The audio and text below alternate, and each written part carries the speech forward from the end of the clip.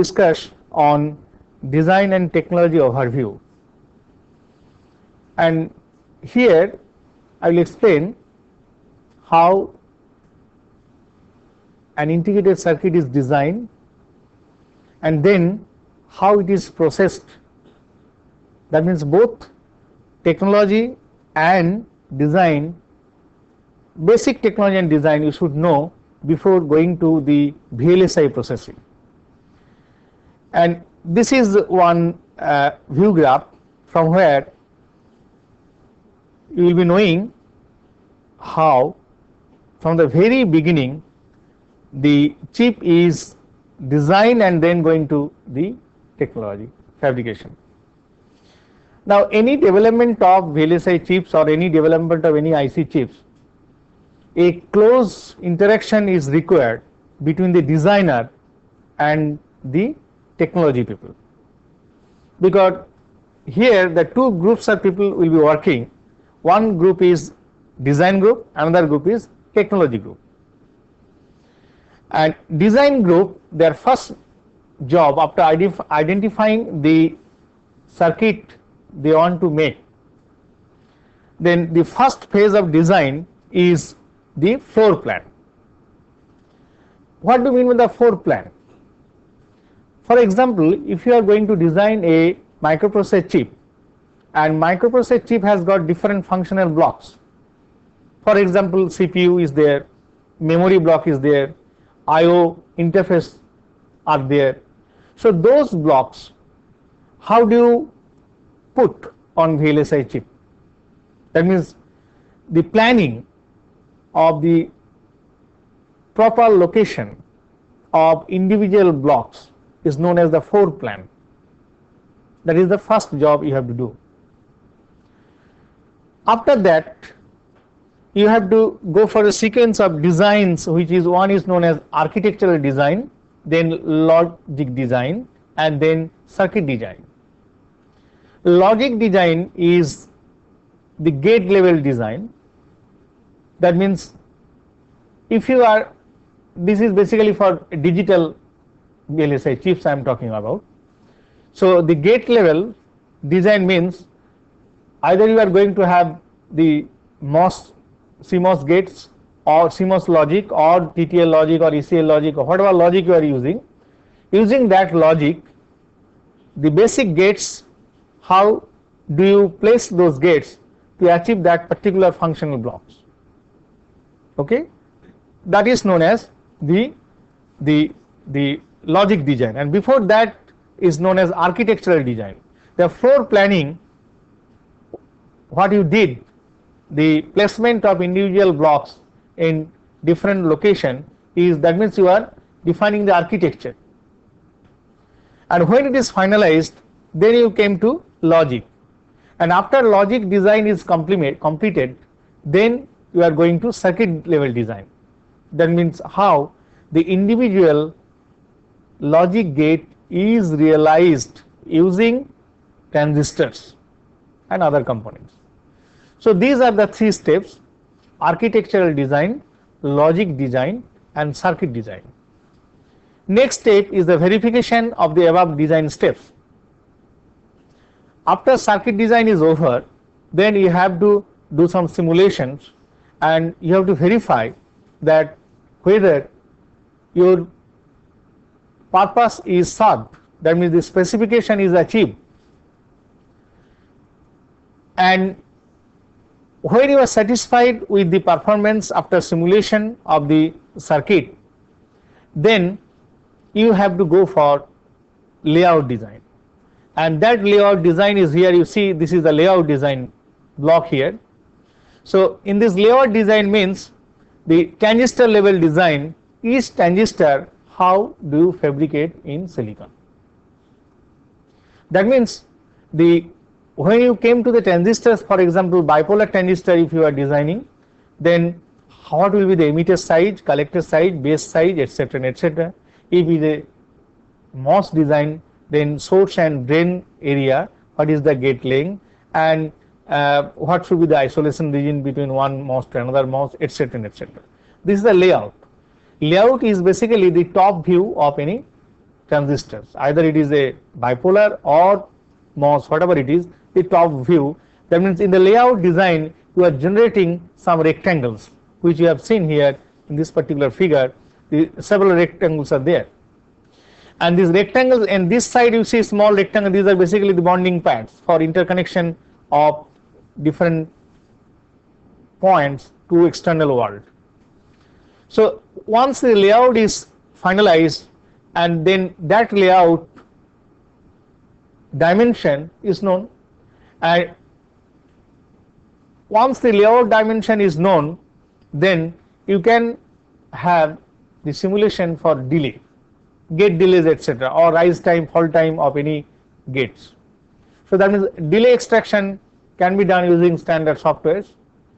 And then if you are satisfied with this result of the simulation or the if you achieve your goal that means the delay etc is within your tolerable range or limit then you will proceed further. What is the next step? Next step is the mask generation. You see here this is the mask generation block.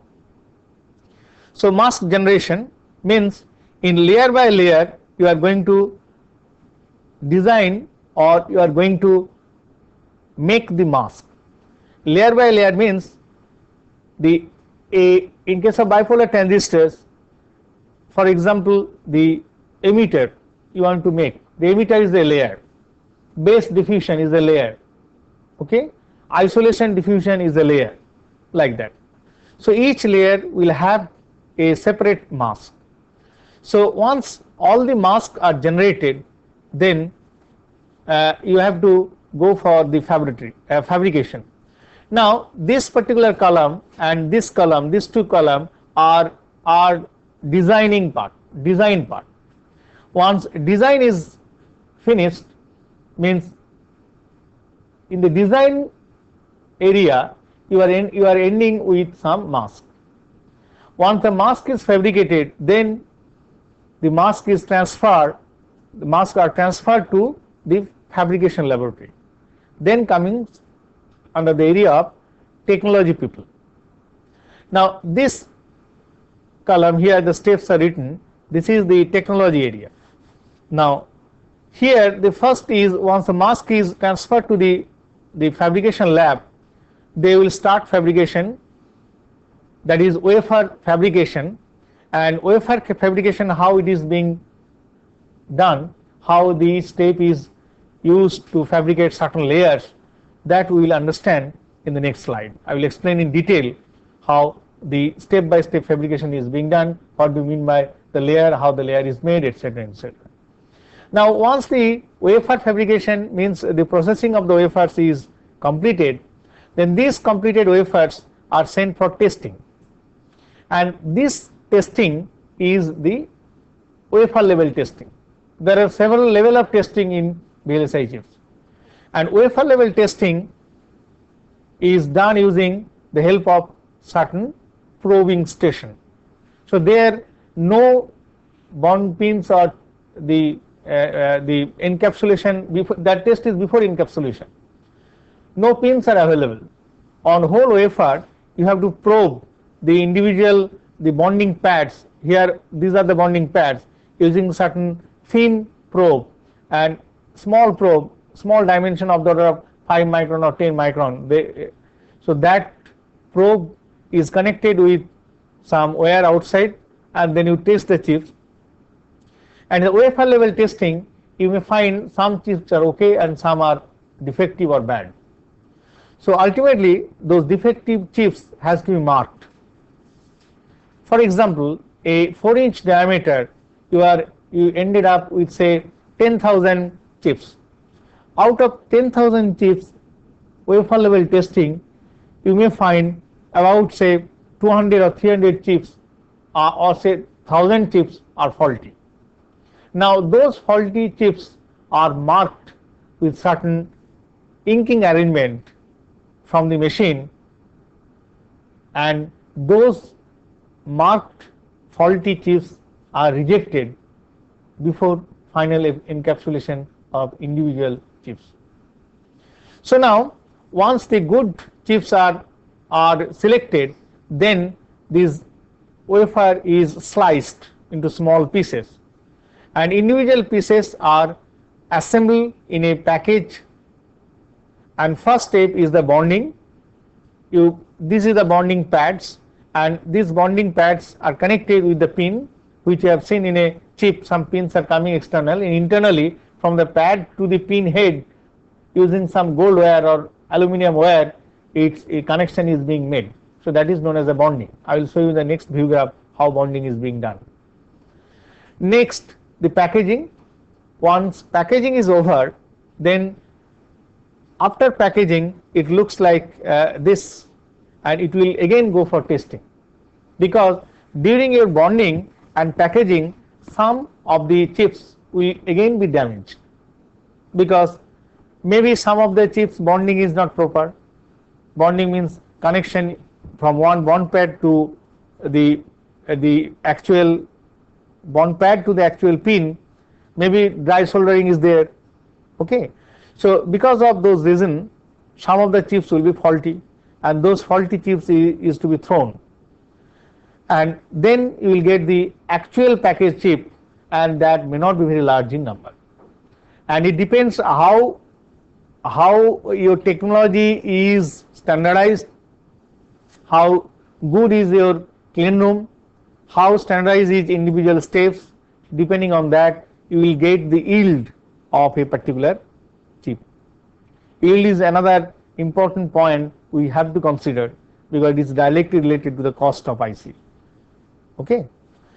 Now, I will show you a 3D structure of BJT and MOSFET. And here you can see so the base emitter and collector these are the three these are, these are top view. And the cross sectional structure is shown here. And this is the circuit symbol the base collector and emitter.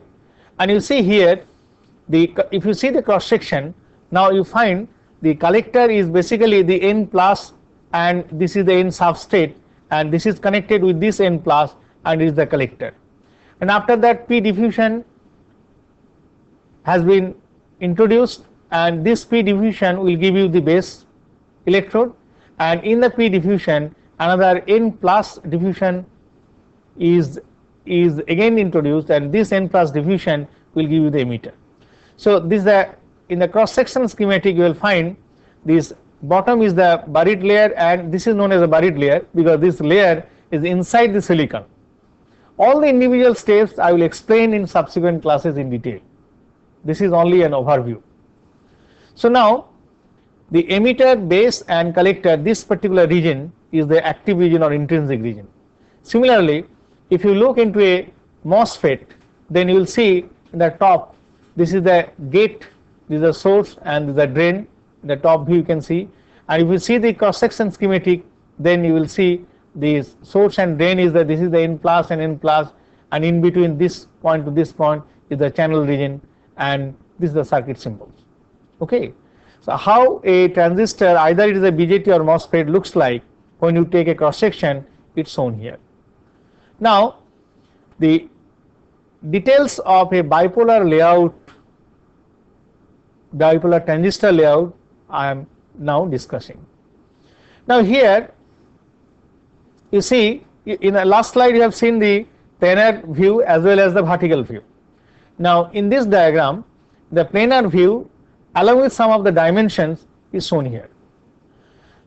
The the outward this rectangle this one is known as the isolation and the next rectangle is known as the buried layer. After that there is another rectangle is known as this the bigger one is known as the base diffusion. And then this is the collector contact diffusion. Then this is the base contact. And there is the emitter diffusion. This is the emitter contact. Now here you can see the emitter contact must be within the emitter region. Base contact this is the base contact rectangle that base contact rectangle must be within the base region this is the whole thing is the base and this collector contact must be within the collector region. Now the smallest dimension in this particular layout is the emitter contact window. So, this is one window you see here and this window in this particular transistor is about 10 micron by 10 micron. Now, the emitter size will be larger than the emitter contact window because I told you the emitter contact must be at the center of the emitter diffusion region. So, emitter diffusion region is this region is the emitter diffusion region this rectangle and here in all four sides we have given 5 micron tolerance. This is 5 micron, this is 5 micron, this is 5 micron and this is again 5 micron. So, so, so the what will be the emitter area? Emitter area will be this 10 micron, this side 5 and this side 5. So, it will be total 20 micron. So, that means although the contact window is 10 micron by 10 micron, the emitter diffusion will be about the 10 plus 5 plus 5 that means 20 micron. So, 20 micron by 20 micron side. Now, this emitter is inside the base at the same time we have to take a base contact. So, this is the base contact.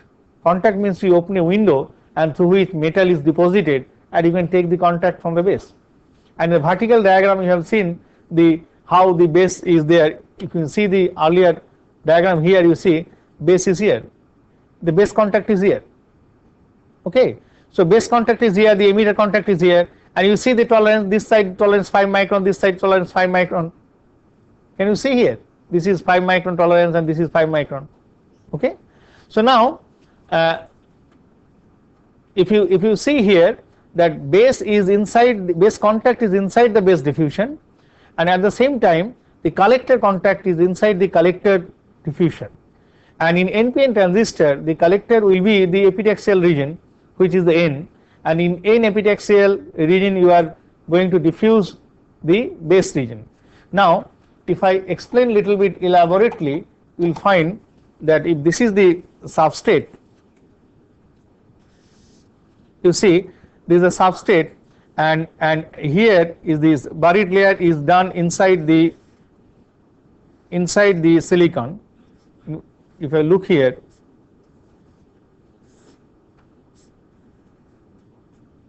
this is the p substrate silicon. Then here is the n plus buried layer. Now after that you have isolated the region. And this is very very important in case of the in case of monolithic circuits. Because you see you are making a, a, a device here for example here you are making a transistor here and another transistor here okay? And now these transistors will have a, a collector here the n plus and here it will have a another collect n plus buried layer. Now this is the you see this is the two transistor if I think and this is a p substrate and this is n type epitaxial layer. Now this n plus and n plus is connected. Now this n plus and this n plus they are through n this is connected. Now if it is a it is a base here for example here is another base here and this base is a p this is n this is n this is p this is a base and this is also a base.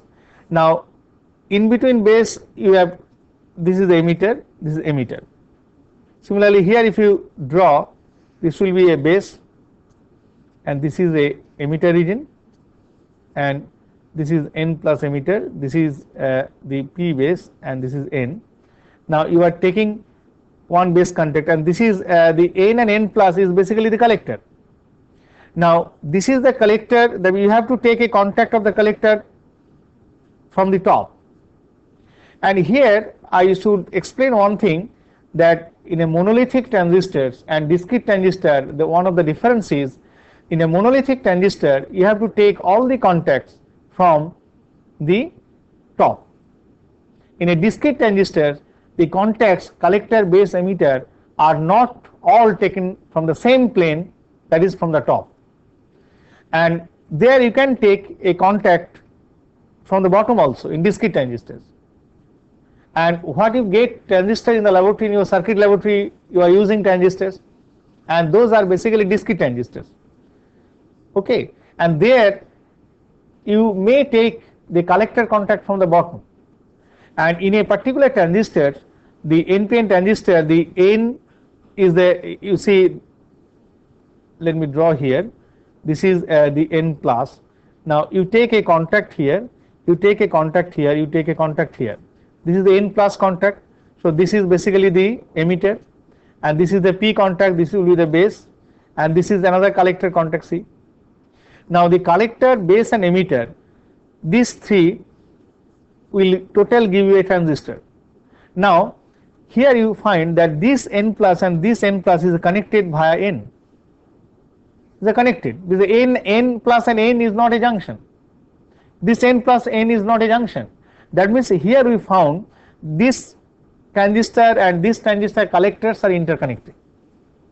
They are not isolated. But any particular circuit the individual components must be isolated from each other. If it is not isolated, then the all the collectors is connected through the substrate because this is the n, n plus n it is connected. If you take say for example here you are taking a contact n plus, n plus contact you are taking the collector. So you see this collector contact is coming here it is connected here so it is connected here is connected there. So this transistor is also connected. Now instead I can separate it out. How? If I diffuse a P plus region here, P plus. So you see the P and P plus are interconnected here. Similarly here you make another P plus here. Now you see by this P plus and P here is P plus and P and in between a region which is the N, N region here and here is also N region. So these two N regions will be isolated from the P if this P is kept as an extreme negative potential. This P plus and P and this N plus and N will constitute a junction which is a PN junction and if this PN junction is reverse biased then there is no, no current will flow only the leakage current.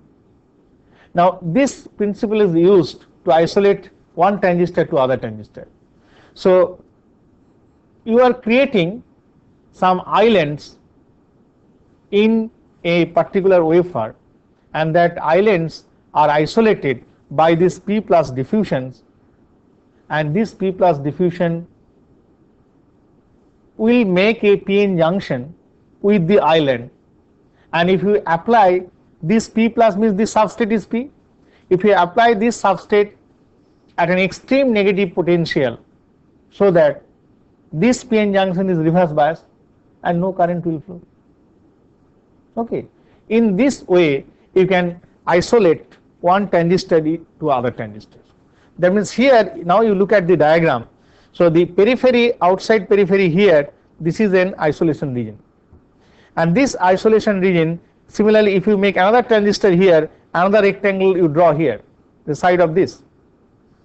This is here you have seen this cross section diagram but here this is a planar structure planar top view rectangular okay? Rectangles how we make the rectangles there. So now uh, and uh, this uh, the buried layer the buried layer is the the next rectangle is the buried layer here. And after that to getting a contact is a is a deep diffusion is made so that the buried layer is connected at the top because you are taking the collector contact from the top surface so this n plus has to has to come at the top so that you can easily take aluminum contact from the top surface. So here uh, are, are, the uh, in the in the side you can see here these uh, isolation walls. So that means this is another wall and this is another wall. So here you are making the N plus here is uh, uh, sorry in this in between the two wall you are diffusing P plus. So here you are creating island and here you are creating island. So in between two island the P plus diffusion is there there and there also so that the the islands are are not uh, connected via the epitaxial layer. Now here uh, I am showing the cross section again details of cross section of a NPN bipolar transistors. So in this particular case you have seen this is the emitter and this is the base and this is the buried layer and this is n epitaxy and the buried layer is connected at the top using this diffusion this is known as the N plus diffusion. N plus is known as deep collector diffusion and this is the P plus and which is connected to the substrate. The silicon substrate is this one okay and this is P plus and this side is also P plus. So that means first getting the substrate you develop this uh, uh, buried layer and on the top of the buried layer you grow the epitaxial layer and the next step is the P plus isolation diffusion so that you can isolate one island to other island and after that next step is the connection of this buried layer at the top. So you have to have a diffusion deep diffusion this is plus this is known as a deep collector diffusion and which is done normally using the phosphorus separate diffusion because its junction depth is very large because you have to diffuse this N up to the buried layer. Now after that you are diffusing the P region. That is basically the base. And here is the base contact. And in base P region you are again diffusing the N plus which is the emitter region. And after that this is the aluminum metal. You are taking contact from the top. This is the emitter contact the collector contact and this is the base contact. Now here uh, this particular NPN transistor has been divided into three different sections. You see here is the region 1, this is region 2, this is region 3 and region 4 and here is the region 5. And in this first region is known as the isolation region. This is the isolation region because this P diffusion you are making such that this P will touch the substrate. That means you have to diffuse the uh, the wafer for a long time at higher temperature. That is these dopants will reach up to the substrate. So this is known as isolation so that isolation will complete. If this diffuse region does not reach substrate then what will happen? Can you tell me? That this N and the side N will be interconnected. Okay that means your process should be such that this P diffuse layer must reach up to the substrate. Then this N this N or this N or this is also N N and the side N here are isolated using a P diffuse region. Clear? So this is the isolation region. Next second region is the deep collector region. And a deep collector region is basically to get collector contact at the top. Here the collector is N and N plus region, the N epitaxy and N plus buried layer, these are the collector. And this collector, if without this diffusion also, you can take contact from the window here. But their problem is you have to take the contact from the N to aluminium and the N to aluminium will lead to a Schottky junction not a ohmic junction. This is very very important and I will just discuss little bit on this uh, this uh, ohmic junction and Schottky junction. For example, here a uh, this is a silicon, this is the N silicon. Now you are making a contact here, for example here this is silicon dioxide. Now, if you want to make a contact here, so you are depositing here say aluminium and the aluminium you are depositing like this, this is aluminium. Okay. Now, this is N silicon that means here you see the aluminium is a group 3 metal and this is silicon. Now after depositing aluminium here when you will anneal it because after depositing aluminium film you have to sinter at a low temperature to have a proper contact 300 to 400 400 degree centigrade for small time about say 10 to 15 minutes that is known as annealing. After annealing microalloying will form with aluminium and silicon and that will give you a proper contact. We are interested to have an ohmic contact, not a Schottky contact. Schottky contact is basically a a diode, Schottky junction diode contact. That means it is a rectifying contact, isn't it? Now, here the N is the dopant means here and here aluminum in N dopant the aluminum will act as a P dopant. You see some of the aluminum molecules from this metal film it will enter into here into silicon and over a small region very narrow depth the N silicon may be converted into P because aluminum is a group 3 element and this group 3 element means the it will invert the polarity of this aluminum uh, silicon which is just below the aluminum isn't it? So now here is small region of p silicon may form. And this p silicon and n silicon will form a p-n junction. That is that means it will form a rectifying contact which is known as a Schottky contact. And we have to avoid this Schottky contact. How can we avoid it? It is possible just you can increase the level of doping in the silicon from N to N plus. You can see many of the view graphs subsequently some region is written N, some of the region it is N plus, some of the region is P, some of the region it is written P plus.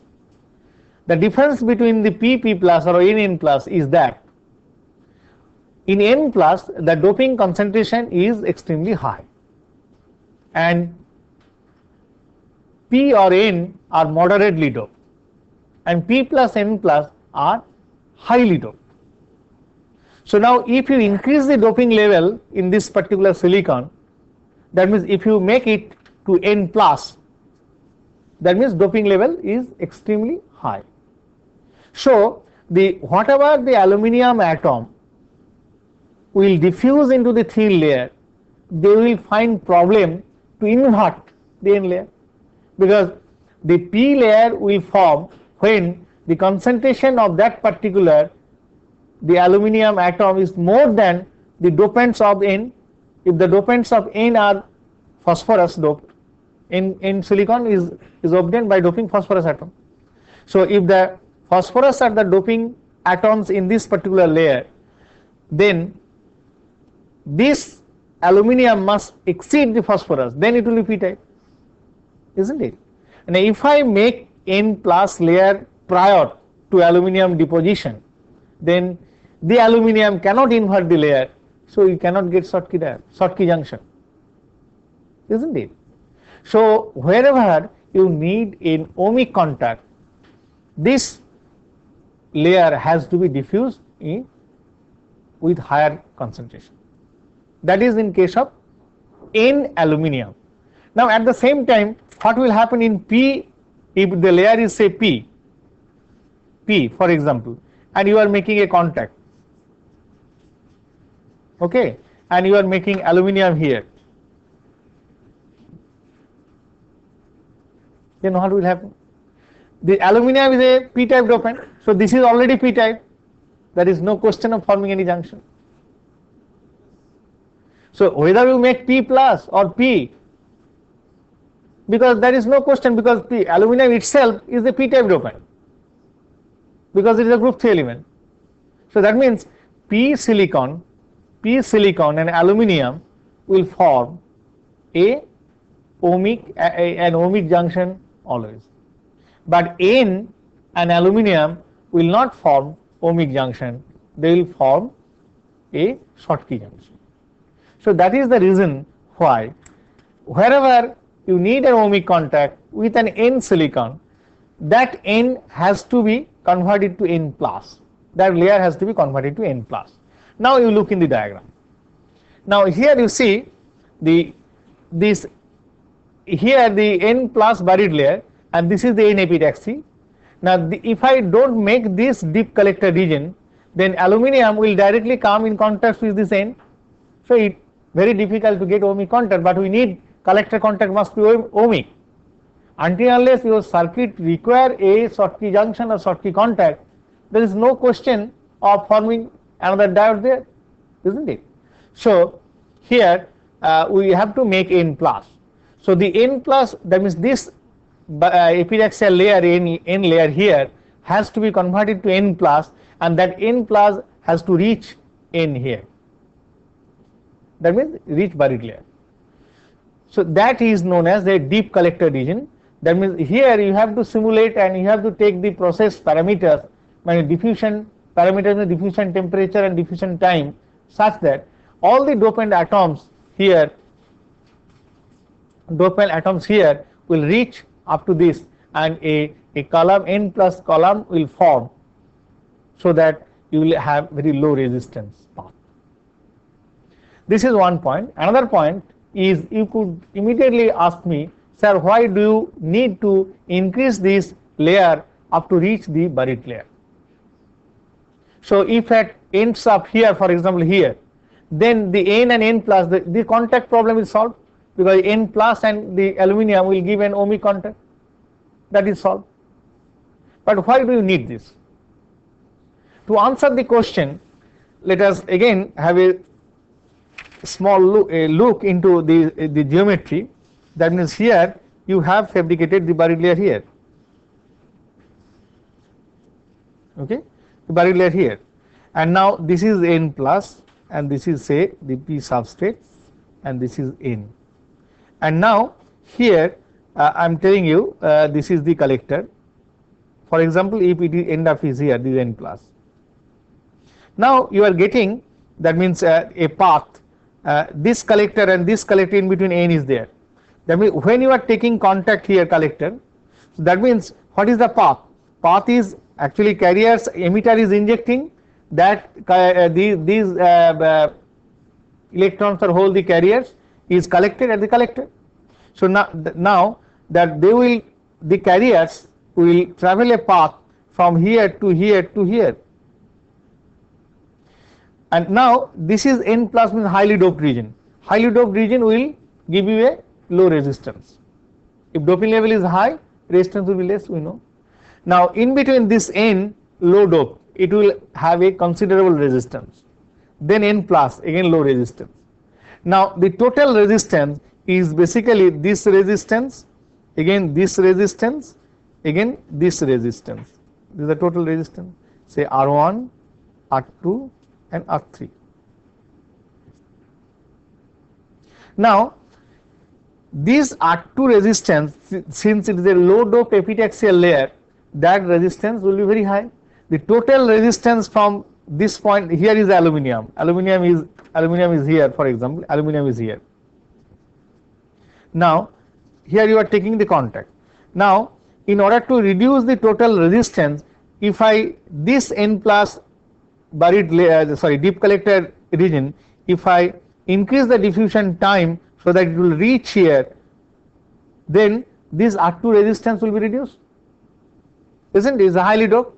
That means then total resistance is n plus the buried layer and this deep collector that means collector resistance because whenever the the dopants or whenever the carriers basically the electrons and holes for example are reaching at the collector they will face a small resistance path here and that will improve your device performance.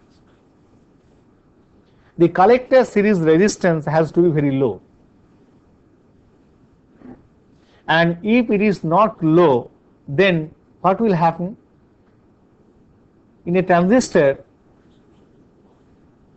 IC VC curve this is a IC this is a VC so this uh, curve is like this. So this slope will give you the collector resistance isn't it? That means if this collector resistance is more then the slope will be like this. Here the slope is less slope is more more here isn't it? So now ideally we should make the collector resistance so small that the slope the, you will get a steeper slope here very small slope like this and as a result of which what will happen the your your basically this will give you the saturation region. So your V sat will be lower. If the slope is more, then V sat will be more. So the saturation voltage VC sat, VC sat basically I am talking about, that VC sat if it is a large, then your problem in a switching, because in a, if you use this transistor in a switching mode, then the on and off the VC sat is large, you want to switch the transistor from on to off, it will not be. So that is the problem. So the the process has to be defined such that or your geometry or technology should be such that the collector series resistance should be as minimum as possible. So you need a deep collector diffusion and at the same time you are using a buried layer and that buried layer is this one is the buried layer as I told you. Now I am discussing why buried layer is required because in NPN transistor N is the collector, P is the base and N is the emitter. Okay. This epitaxy is itself is a basically a, a collector. Now you have introduced another layer N plus layer diffuse layer which is known as the buried layer because it is buried in, into the silicon uh, silicon crystal. So this buried layer reduces the collector series, series resistance also. If you do not use the buried layer then this is N will be the collector resistance. Now at the same time you see it is serving another purpose. What is that purpose? That is here this a P is the base, N is the epitaxy and if you do not use this buried layer, so this P will be another layer substrate. So that me that means you are getting the two transistors. One is N, P, N, another is P, N and P. Two transistors that is parasitic PNP transistors and if these parasitic PNP and NPN, NPN transistors and PNP transistor if they connected together in a particular fashion in that case you may have some thyristor action because NPN and PNP transistor they are, they are connected. So high current may flow and it will damage the transistor. Our aim should be such that our, our, our geometry of the transistor should be such that that this parasitic PNP transistor has to be destroyed. And how can you do it? By introducing a buried layer, we can stop that parasitic PNP effect. Why? We know that in a particular transistor, who is the main controlling layer? Base. We know from our basic device knowledge that to operate a transistor faithfully, the base should be lightly doped and it is to be thin. Base is to be thin and lightly doped. And if it is not thin, it is a thick layer, then what will happen?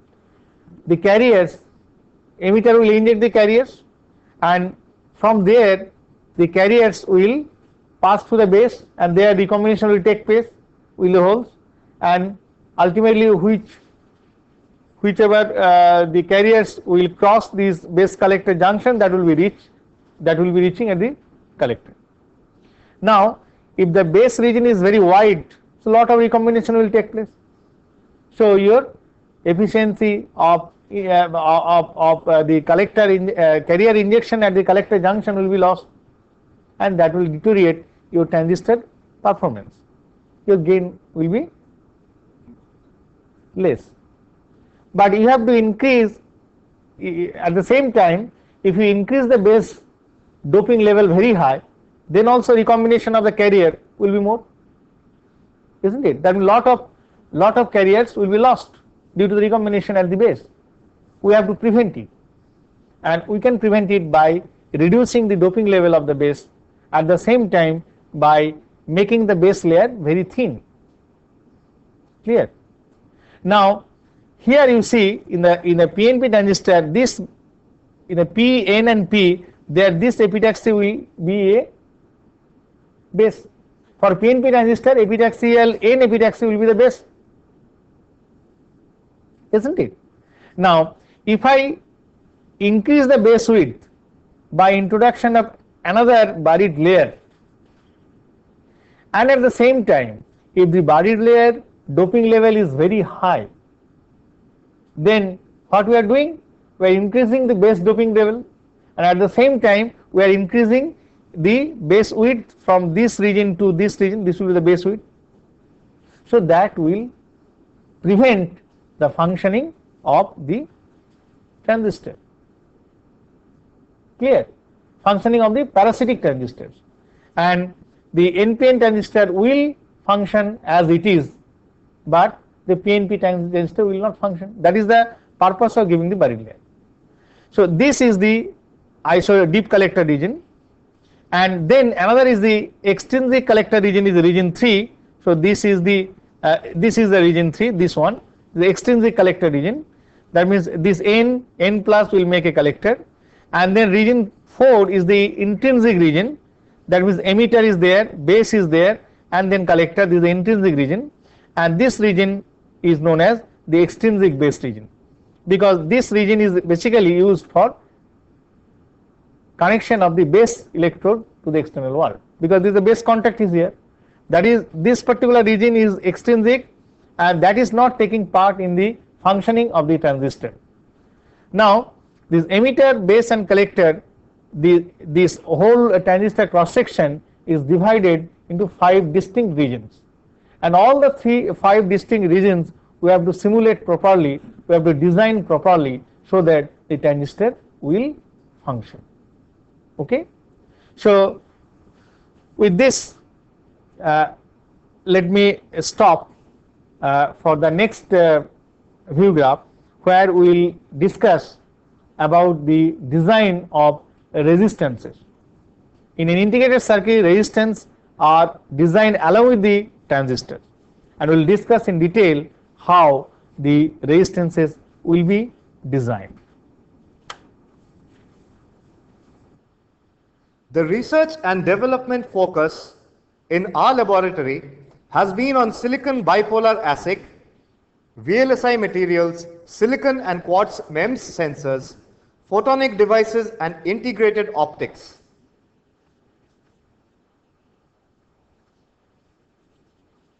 We are now inside the clean room in the laboratory. This is a class 1000 clean room. Some major equipment that you now see on the screen are a high resolution stereo microscope, a 4 point probe resistivity meter and an ellipsometer. An ellipsometer is used to measure the thickness of transparent layers of silicon dioxide and silicon nitride on a wafer.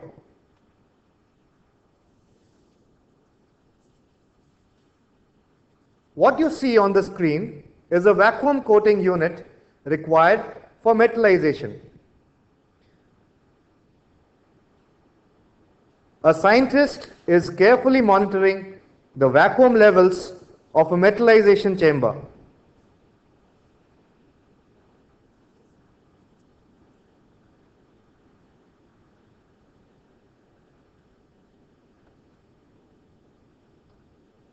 A 4-point probe meter is used to measure the sheet resistance of a wafer and is normally used to have some idea of impurity diffusion after each diffusion step. Now let me tell you something about the classification of clean rooms. This is a class 1000 clean room which means that the air in this room contains no more than 1000 particles per cubic feet with a particle size of 0.5 micrometer and larger. We also need to maintain an accurately controlled environment where the temperature is kept between 20 and 22 degrees centigrade and the humidity kept below 50%. The air inside the room is also kept at a positive pressure that is about 30 pascals relative to the outside pressure. To reduce the effect of turbulent airflow, we work in laminar flow workstations which you will shortly see.